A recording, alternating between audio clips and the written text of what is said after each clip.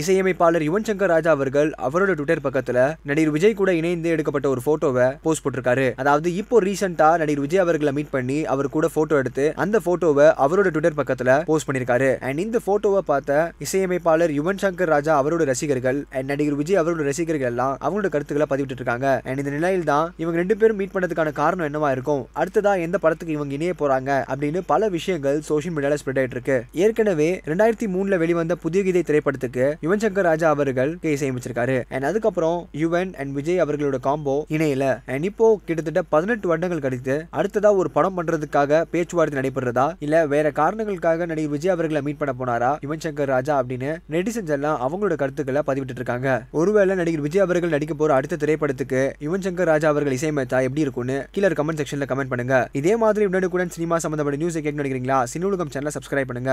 ஒவ்வொரு படங்களுமே உங்களுடைய ஒரு எக்ஸ்பெரிமெண்டல் பேட்டர்ன் அப்படின்னு தான் சொல்லி ஆகணும் நாங்கள் குணா பற்றி கொஞ்சம் சுவாரஸ்யமான விஷயங்கள் வந்து தெரிஞ்சுக்கிட்டப்போ அந்த படம் ஃபஸ்ட்டு வந்து ஸ்ரீலங்காவில் ஷூட் பண்ணணும் அப்படின்ற மாதிரி ஒரு பிளானா சார் இல்லை இப்போ ஒரு மலைப்பாங்கான இடத்துல ஷூட் பண்ணணும் அப்படிங்கிறது தான் அது எந்த இடமா இது ஸ்ரீலங்காவும் வந்திருக்கும் அந்த டாப்பிக்கில் புரியுதுங்களா? இப்போ கேட்டிங்கன்னா எனக்கு ஞாபகம் இல்லை. ஒருவேளை அந்த லிஸ்ட்டில் ஸ்ரீலங்காவும் வந்திருக்கலாம்.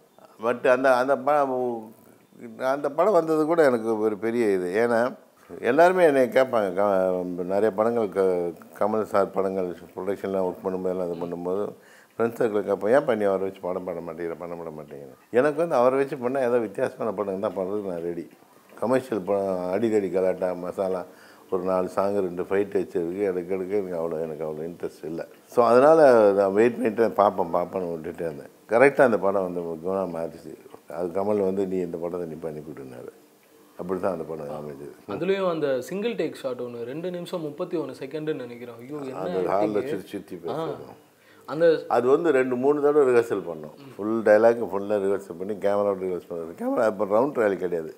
ஹேண்டில் தான் பண்ணது வேலு சார் தான் நினைக்கிறேன். வேணும் வேணும் ஆமாம் வேணும் தான். சூப்பர் கேமராமேன் அவர் தான் பண்ணார்.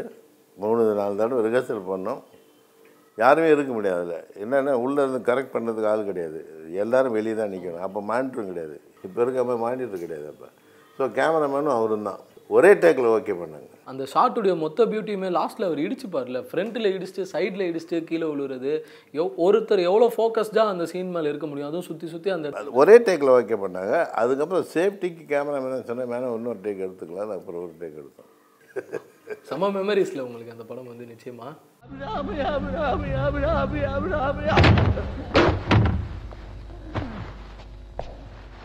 இன்னொன்று சார் குணா படம் டைமில் தான் வந்து தளபதி கூட தான் அந்த படமும் வந்து ரிலீஸ் ஆச்சு. சரி நீங்கள் வந்து நான் கமல் சார் ஃப்ரெண்டு வெல்விஷர் இதெல்லாம் தாண்டி ஒரு இயக்குனராக உங்களுக்கு தோணியிருக்குதா இந்த டைம் இந்த கிளாஸ் வந்து இந்த படத்துக்கு இருக்கணுமா அப்படின்னு. எங்கேயும் ஒரு வாட்டி என் பேர் திருப்பி சொல்லுங்க.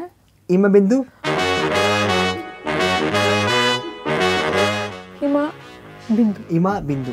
ஓகே ஹிமா பிந்து இம பிந்து சரிங்க இது வந்து ஹைபிஸ்கஸ் அது ரொம்ப க்யூட்டாக அழகா இருந்தது ஓகே நான் அவருக்கு கொடுத்துட்டேன் இதுதாங்க அப்படின்னு சொல்லிட்டு அவரும் வரைஞ்சாரு பார்த்தா கடைசியில் ரோ ரோசா பூ மாதிரி